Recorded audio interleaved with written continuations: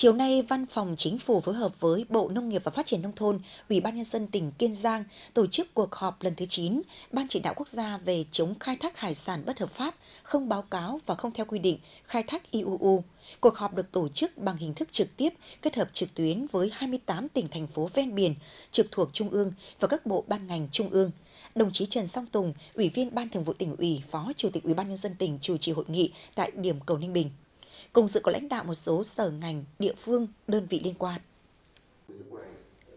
Theo báo cáo của Bộ Nông nghiệp và Phát triển Nông thôn, sau hơn 6 năm chống khai thác IUU, gỡ cảnh báo thẻ vàng của Ủy ban châu Âu EC, các bộ ban ngành địa phương đã tích cực thực hiện các nhiệm vụ, giải pháp cụ thể. Tuy nhiên đến nay, một số nhiệm vụ trọng tâm cấp bách vẫn chưa đảm bảo tiến độ. Tiếp tục xảy ra tình trạng tàu ngư dân bị các nước bắt giữ, xử lý, công tác quản lý đội tàu chưa đảm bảo theo quy định theo dõi kiểm soát hoạt động tàu cá tại một số địa phương chưa đồng bộ. Tình trạng tàu cá mua bán sang tên đổi chủ giữa các địa phương chưa được kiểm soát chặt chẽ. Cả nước vẫn còn trên 15.000 tàu cá 30, không đăng ký, không đăng kiểm, không cấp phép và vẫn còn tình trạng tàu cá hoạt động sai vùng. Thực hiện quy định xác nhận, chứng nhận và truy xuất nguồn gốc thủy sản vẫn còn hạn chế. Bên cạnh đó, công tác thực thi pháp luật, xử lý vi phạm IUU vẫn còn thiếu quyết liệt đồng bộ.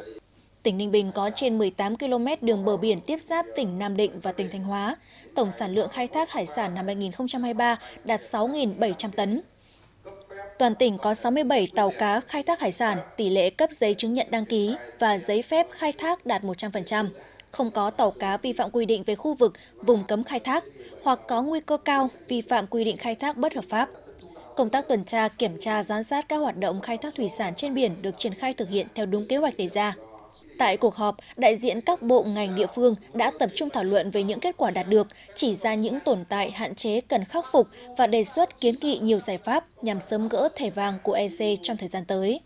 Kết luận cuộc họp, Ban chỉ đạo quốc gia yêu cầu, từ nay đến khi đoàn thanh tra của EC tổ chức đợt thanh tra thực tế lần thứ 5 tại Việt Nam, không có tàu cá nào của nước ta bị bắt ở vùng biển nước ngoài. Các cơ quan chức năng, địa phương tăng cường hợp tác xử lý nghiêm các trường hợp vi phạm, kiên quyết không có ngoại lệ, kiểm soát tình hình, tập trung quản lý tàu ra khơi, ưu tiên bố trí các nguồn lực để triển khai thực hiện, trong đó tăng cường công tác tuyên truyền chống khai thác hải sản bất hợp pháp, không báo cáo và không theo quy định, đồng thời thông qua các hoạt động ngoại giao, hợp tác, đưa đội tàu của nước ta liên kết với các quốc gia trong khu vực để khai thác thủy hải sản.